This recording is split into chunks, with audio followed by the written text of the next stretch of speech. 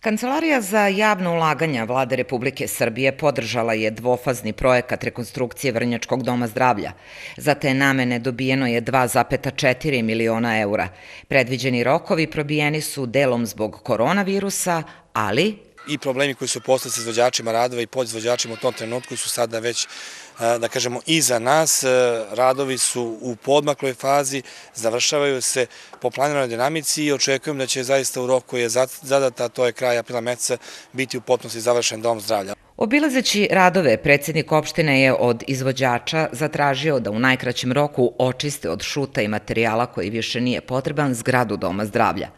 Predsednik Đurović od decembra je ustalio praksu da na 15 dana obilazi radove, što je dalo pozitivne rezultate. Zaista smo ponosi što ovakav jedan objekat e, postoji u Vrnjačkoj banji, što je na ovakav način uložen novac da Vrnjačka banja dobije instituciju koju zaista zaslužuje u naravno ovakvom ruhu kako danas Dom zdravlja izgleda. Drugom fazom radova na rekonstrukciji Vrnjačkog doma zdravlja predviđeno je postavljanje novih podova i plafona, zamena stolarije, centralnog grejanja i hlađenja objekta i ugradnja novog lifta za pacijente.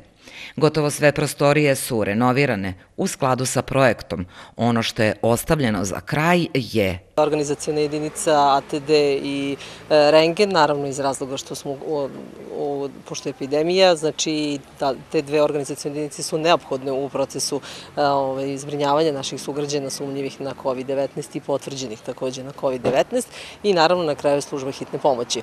Ovom prilikom bi e, zajedno pridružio se apelu i direktorke Doma zdravlja Vesne Malićanin da naši pacijenti i da naši građani imaju razumevanje još ovih par dana zbog promene termina rada, pre svega rengena aparata i drugih institucija, oni će naravno biti blagovremeno obavešteni o tome.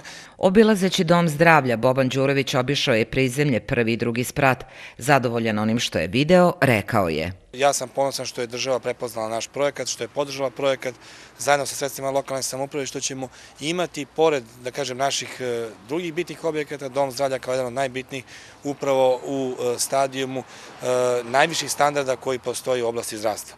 Predsednik opštine iskoristio je obilazak i da Takođe bih pohvalio rad radnika Doma zdravlja, što činim svaki put, naravno i svih drugih zdravstvenih radnika s teritorije Banja i strani tim iz Srbije, što u ovim teškim trenucima e, daju maksimum svog rada, a sve u cilju zaštite e, pre svega života, jer ovo je zaista ozbiljna bolest, ali i zdravlja naših e, sugrađana, naših pacijenata i samim time pokazuju, da kažem, jedan visok stepen odgovornosti Učestali obilasci Doma zdravlja i dogovor koji je između opštine Vrnjačka banja i izvođača radova postignut u decembru prošle godine rezultirali su poštovanjem rokova, pa će rekonstrukcija koja traje gotovo godinu dana biti završena do maja.